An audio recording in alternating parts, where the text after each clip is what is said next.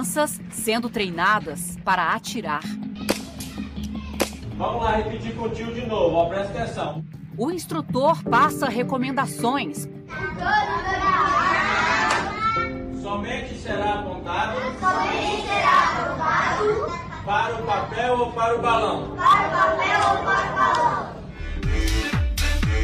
O vídeo de divulgação deste curso foi editado com letras coloridas, trilha sonora, um ursinho dançando e com a mensagem: Dia de brincar.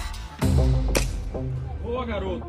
As crianças aparecem com a arma em punho, abafadores de ouvido e óculos de proteção. Com um cronômetro, o instrutor marca o tempo e orienta. Tá passeando, tá passeando. Oh, oh. Arma pra frente.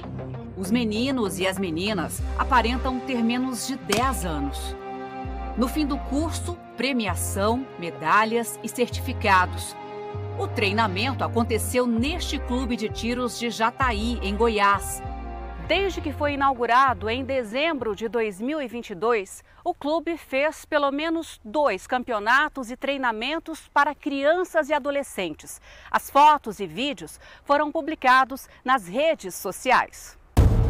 E levantaram uma discussão. Um dos comentários diz que o curso fomenta a violência. Este outro pedia mais educação e não a violência. Mas também teve quem defendesse a iniciativa. Muito bom, desde cedo, sabendo manusear uma arma. Nos vídeos, as crianças aparecem usando uma airsoft, como essa aqui. Por fora, ela parece uma pistola de verdade, mas tem esse detalhe aqui na ponta, bem colorido. Por dentro, o funcionamento é diferente. E aí, é uma arma?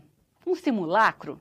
Airsoft, de fato, é uma arma, por uma razão muito simples. Ela é uma arma de pressão. Ela atira de verdade. Então aqui nós temos, por exemplo, a pistola, ela é funcional. Ela vai atirar o projétil da Airsoft, né, que são essas esferas de plástico.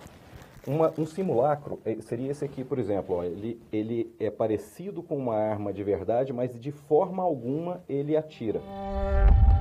As esferas de PVC atingem velocidades de 50 a 200 metros por segundo. Não são consideradas letais, mas podem machucar e até cegar uma pessoa.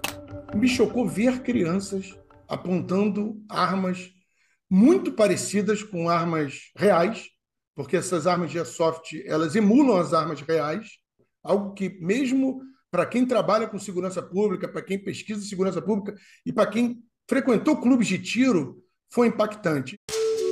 Mas, afinal, quais são as regras para o uso desse tipo de arma de pressão? As crianças poderiam participar de cursos como estes?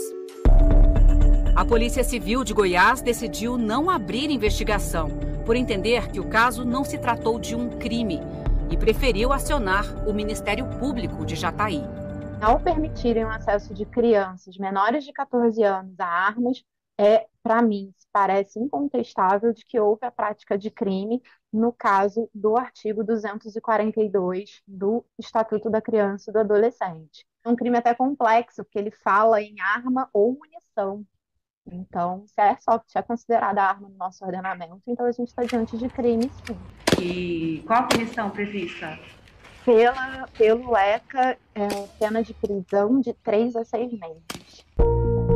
Na quinta-feira, a promotora da Infância e Juventude de Jataí recomendou a imediata suspensão das atividades do clube de tiros com crianças e adolescentes, com base num decreto de janeiro de 2023, que regulamenta o treinamento de tiro desportivo somente para maiores de 14 anos.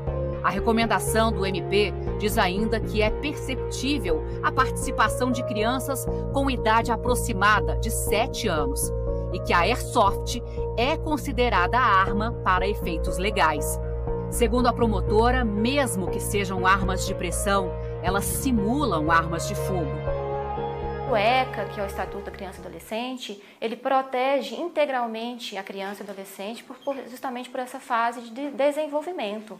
E um curso de tiro, formação em tiro, é algo que vai de encontro com esse princípio da integral proteção.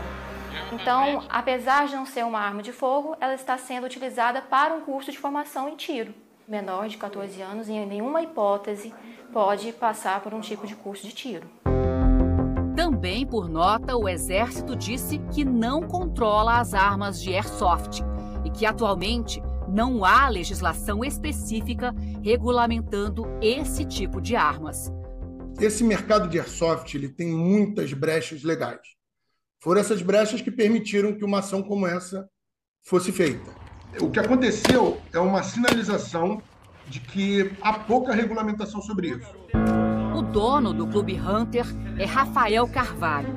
O empresário também é proprietário de uma loja de pesca em Jataí que vende diversos tipos de armas. Por nota, o Clube Hunter informou que atendeu à recomendação do Ministério Público e que o projeto está suspenso por prazo indeterminado. O texto diz ainda que o clube reitera seu repúdio a qualquer forma de violência e ódio. Eu acho que cabe a gente pensar se é isso que a gente quer para nossas crianças. A gente já vive num país que sofre com muita violência e muita violência por armas de fogo. E a gente incentivar essa cultura armamentista desde cedo na população, a tendência é que a gente não melhore esse cenário no longo prazo. A arma não é brinquedo, né? Não, arma definitivamente não é um brinquedo. Tá passeando, tá passeando.